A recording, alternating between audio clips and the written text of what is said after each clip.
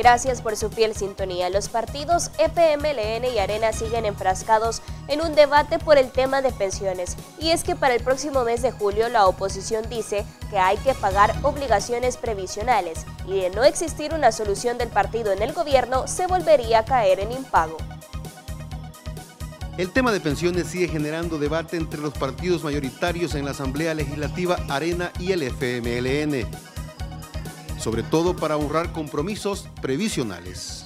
Solo nos quedan tres plenarias ya para llegar a la fecha del 8 de julio, que es la fecha fatídica, para entrar nuevamente en impago. Y, no, y, no, y no vemos la, la, reacción del FMLN. Debe haber una reforma a la ley del presupuesto definitivamente para, para que se pueda cancelar esos pagos pendientes y hasta este momento lo que hemos visto es alargar el abordaje del tema del fondo de pensiones o la ley que, tenemos que reformar, la ley de pensiones para, para crear o darle solución a la problemática que tenemos definitivamente.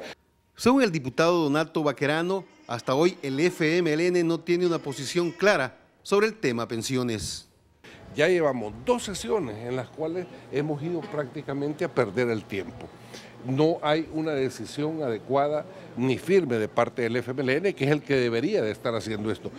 Pero diputados del FMLN dicen lo contrario, asegurando que es Arena la que se opone a discusiones serias sobre reformas de pensiones. Urge hoy eh, hacer la reforma previsional, pero es obvio que la derecha no da votos porque sigue aferrada a un planteamiento ideológico que el negocio es privado y el privado hay que proteger.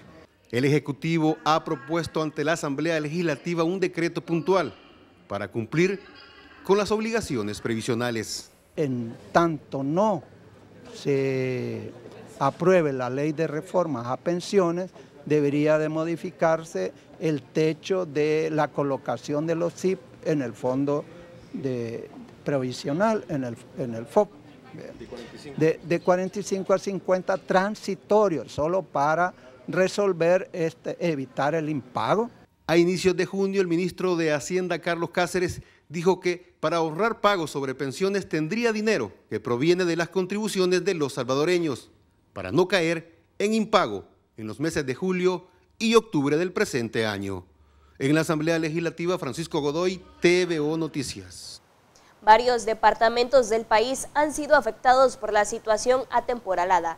En La Libertad, las inundaciones afectaron a todas las familias del Cantón San Diego y en Chalatenango, el puente entre el Paraíso y la cabecera departamental de ese departamento sufrió serios daños, por lo que el paso fue cerrado.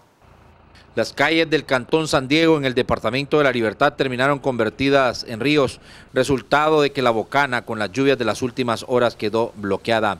Esta es una de las zonas más afectadas por la situación atemporalada de las últimas horas. Sí, yo tenía un proyecto que iba a desempachar el estero, que pesaba sacarle unas mil toneladas de, ripio, pero lamentablemente por situaciones económicas la alcaldía no lo pude hacer, pero espero que a las salidas del invierno lo vamos a hacer porque todo el, problema es el estero. Son cuatro ríos que vienen a parar aquí al estero y por eso cuando llueve fuerte inmediatamente se llena. Se ha inundado por completo, en la parte del estero más o menos tenemos como un, metro cincuenta de agua.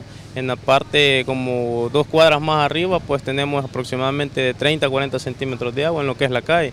En lo que es las viviendas, sí, ya estamos hablando de 60 a 50 centímetros de agua. Decenas de familias se vieron afectadas, sus casas terminaron completamente inundadas y sus pertenencias también afectadas por el desbordamiento del río que sorprendió a los afectados. Algunos de ellos incluso optaron por abandonar sus viviendas y buscar lugares más seguros. Todas las cositas hemos perdido, cositas, ropa. Solito necesitamos para pues, ir gente que necesitan su comidita, algo, ropita, porque la verdad todos se los ha perdido, gente han perdido sus, sus frises, bebidas, todo, todo lo han perdido. ¿Su nombre, Desde las 4 de la mañana andamos nosotros jalando las cosas para... Y ni aún hemos podido rescatar nadita, nadita. Lo único que pudimos sacar fue la, la, vida de nuestros hijos, porque el agua está acá y ahorita lo que principalmente ayuda es la que necesitamos. En Chalatenango, el puente sobre el río Motochico colapsó resultado de las fuertes lluvias de las últimas horas, dejando incomunicadas varias comunidades de ese departamento. En San Salvador para TVO Noticias, Josué Natambaquis. En el Hospital San Juan de Dios de San Miguel, esta mañana se llevó a cabo una celebración en el marco del Día del Donante de Sangre. El banco de sangre de este nosocomio es uno de los que más demanda tiene al ser el centro de referencia regional en el oriente del país. Dona Sangre, Dona Vida es el nombre con el cual las autoridades hospitalarias en San Miguel celebraron el Día Mundial del Donante. La sangre es lo único que nosotros no podemos comprar nos enorgullecemos por tener la capacidad de dar respuesta en forma oportuna y eficaz a todo paciente que consulta, ya sea de forma electiva o de forma de emergencia. Mucha de la sangre que se recolecta en este nosocomio es utilizada para las emergencias que se atienden y un solo donante puede salvar cuatro vidas. Ahora la sangre se fracciona en sus diferentes componentes y un donante, un donante voluntario puede estar salvándole la vida a cuatro pacientes. Eh, con el fraccionamiento que nosotros hacemos de la sangre, pues entonces podemos solventar necesidades de oxigenación en un paciente, necesidades de hidratación de otro paciente, las necesidades de plaquetas en otro y también para detener esos sangrados que tan de moda están, más que todo en las mujeres embarazadas que vienen a, con sus problemas de desangramiento. La sangre se recolecta por medio de donantes, pero muy pocos son los que llegan de manera voluntaria.